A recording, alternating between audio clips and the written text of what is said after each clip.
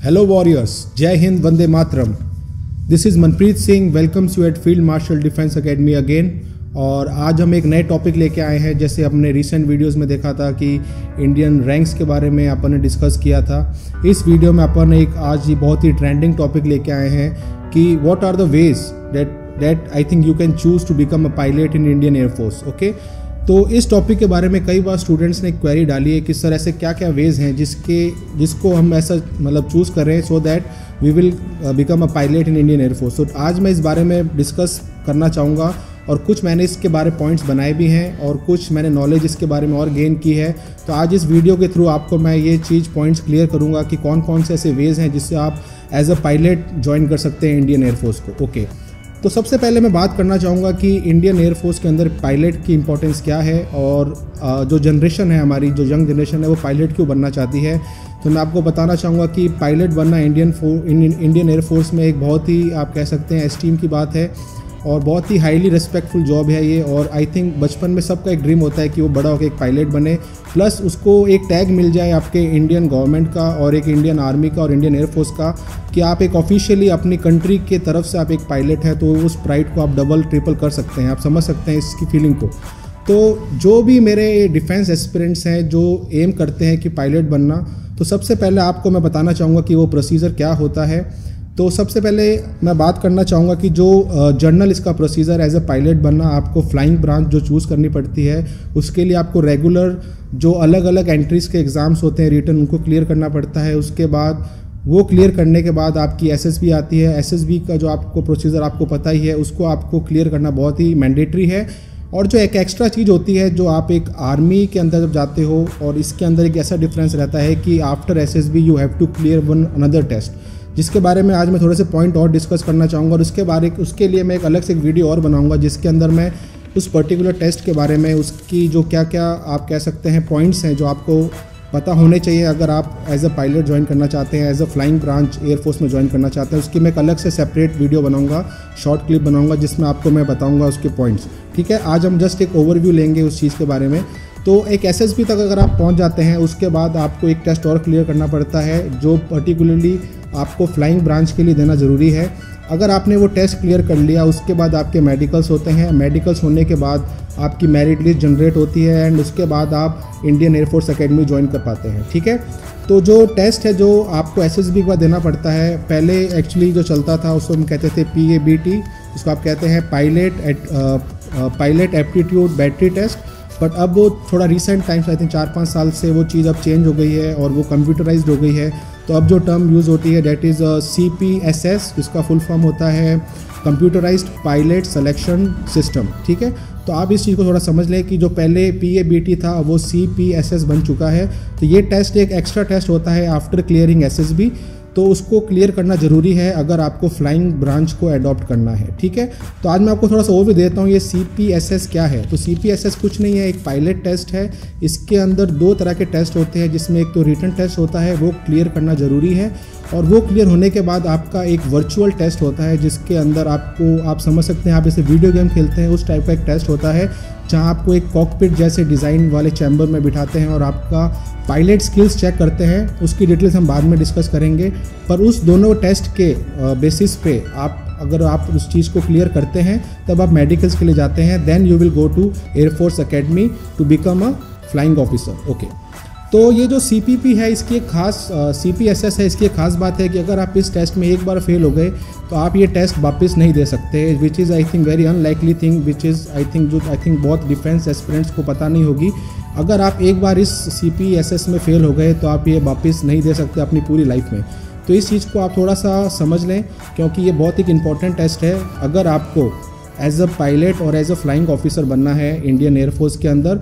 तो C P C सी जो है सी पी एस एस जो है एग्ज़ाम उसको आप थोड़ा सा इस ले, लेके थोड़ा समझें। बिकॉज़ अगर आप एक बार इसमें फेल हो गए तो आई थिंक आपको सेकेंड चांस इसमें नहीं मिलेगा आपकी पूरी लाइफ में, ठीक है? तो आज मैं बात करूँगा ऐसे कौन कौन से जो रास्ते हैं जिसके थ्रू आप जाएँगे अगर आपको फ्लाइंग ब्रांच ज्वाइन करनी है और एज अ पायलट आपको इंडियन एयरफोर्स में आपको दिखना है। तो सबसे पहले जो अपन इसको दो कैटेगरी में डिवाइड करते हैं। ये जो फ़र्स्ट कैटेगरी है, मैं बात करूँगा ओनली फॉर मैन मैन के लिए कौन कौन सी एंट्रीज़ हैं और ऑफिसर एंट्रीज़ कौन कौन सी है एज अ फ्लाइंग ऑफिसर तो सबसे पहले मैं बात करना चाहूँगा जो आफ्टर ट्वेल्थ वो होती है एनडीए लाइक रेगुलर जो आपका एनडीए का एग्ज़ाम होता है, वो आपको क्लियर करना पड़ेगा। उस एन के एग्ज़ाम को क्लियर करने के बाद आपको नॉर्मल जो आपकी किस, आपकी जो नॉर्मल एसएसबी होती है, वो आपको फेस करनी पड़ेगी। वंस अगर आप एसएसबी क्लियर कर लेते हैं, उसके बाद आपको सिलेक्शन आपको करना पड़ेगा कि मुझे किस ब्रांच में जाना है, ठीक है? अगर आपको एयरफोर्स वाली ब्रांच चुननी है तो आपको वही सी पी एस एस का एग्ज़ाम देना पड़ेगा। Once you clear that exam आपके मेडिकल्स होंगे। अगर आप मेडिकल में आप फिट होते हो और मेरिट लिस्ट में आपका नाम है then you will join Indian sorry N D A और एन डी के अंदर आप तीन साल उसमें कोर्स करेंगे। तीन साल करने के बाद जो रेगुलर एक आर्मी में जो कैडेट होता है, वो तीन साल के बाद आई एम ए में जाता है। बट इसके अंदर अगर उसको फ्लाइंग ऑफिसर बनना है तो वो तीन साल के बाद एन डी ए से एयरफोर्स अकेडमी में जाता है एक साल के कोर्स के लिए और उसके बाद उसको वो रैंक दी जाती है फ्लाइंग ऑफिसर जिसको अपन पायलट भी कह सकते हैं। ठीक है? तो ये तो एक एंट्री हुई और ग्रेजुएट्स के लिए इसमें क्या है? मेंस के लिए। तो नॉर्मल अगर कोई भी एक स्टूडेंट है, अगर वो ग्रेजुएट है तो उसके लिए ऑप्शन होता है C D S C combined defence service exam उसके थ्रू वो स्टूडेंट जा सकता है, अगर वो नॉन टेक्निकल है या टेक्निकल है डजेंट मैटर उसको वो एग्ज़ाम क्लियर करना पड़ेगा। उसके बाद उसको एसएसबी फाइट करनी पड़ेगी और एसएसबी फाइट के बाद अगर उसको ऑलरेडी उसको पहले से फॉर्म में मेंशन करना पड़ेगा कि that I want to go in Indian air force फिर उसके लिए सेम उसको सेम प्रोसीजर सीपीएसएस का एग्ज़ाम क्लियर करना पड़ेगा. देन उसको मेडिकल और उसके बाद उसको इंडियन एयरफोर्स अकेडमी में ज्वाइन करना पड़ेगा.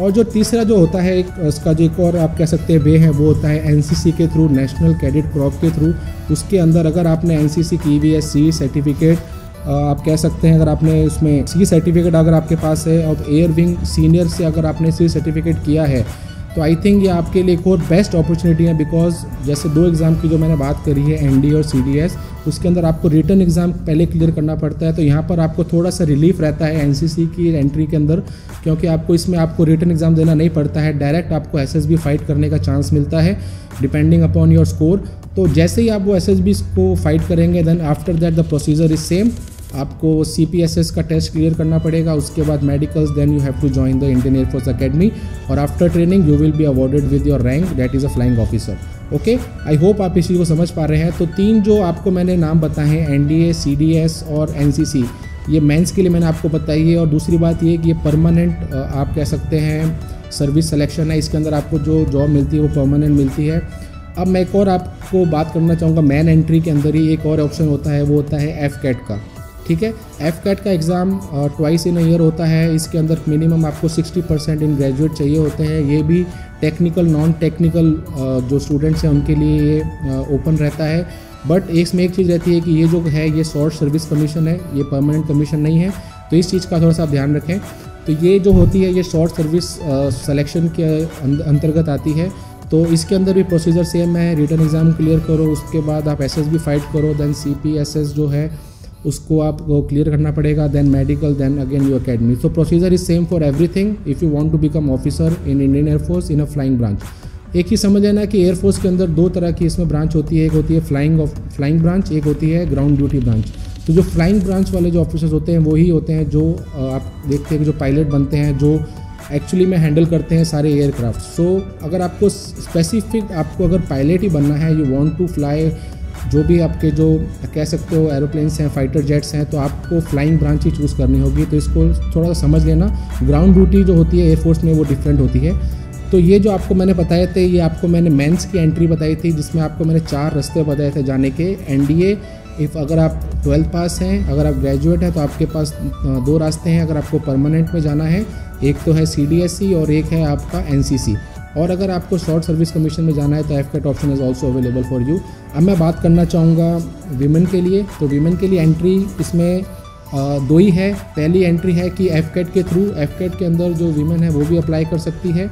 और वही नॉर्मल उनका रिटर्न एग्ज़ाम होता है। Again S S B then again C P S S का exam then medical then academy this which I already told you so so, women's के लिए एक तो होता है F CAT and second option is an again तो NCC के अंदर वही है उनको अगर उनके पास सी सर्टिफिकेट है एयर विंग का then they are actually eligible for direct S S B they don't have to give written exam again sorry they don't have actually give exam again they have a direct S S B then again the procedure is same C P S S exam you have to clear and again medical and an academy so these are the two ways for a women if you want if she want to become a flying officer in Indian air force तो overall मैंने आज आपको बताया है कि कि जो अगर आपको एयरफोर्स के अंदर फ्लाइंग ऑफिसर बनना है और अपन इसको और ब्रॉडली कहें अगर आपको पायलट बनना है इंडियन एयरफोर्स में तो ये नंबर ऑफ़ एंट्रीज है जिसके थ्रू आप जा सकते हैं।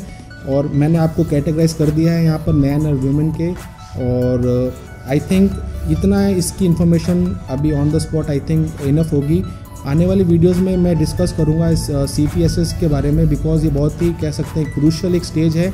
अगर आपको इंडियन एयरफोर्स में एज ए फ्लाइंग ऑफिसर बनना है तो इसकी मैं एक सेपरेट वीडियो बनाऊँगा, छोटी सी, जिसमें आपको मैं इसके बारे, इसकी टेक्निकलिटीज़ के बारे में डिस्कस करूँगा और कुछ बुक्स के बारे में और कुछ टिप एंड टेक्निक्स के बारे में मैं ऑल्सो आपको गाइड करूँगा। तो आई होप इस वीडियो के थ्रू आप ये समझ गए होंगे कि अगर आपको इंडियन एयरफोर्स में पायलट बनना है या फ्लाइंग ऑफिसर बनना है तो क्या रास्ते हैं?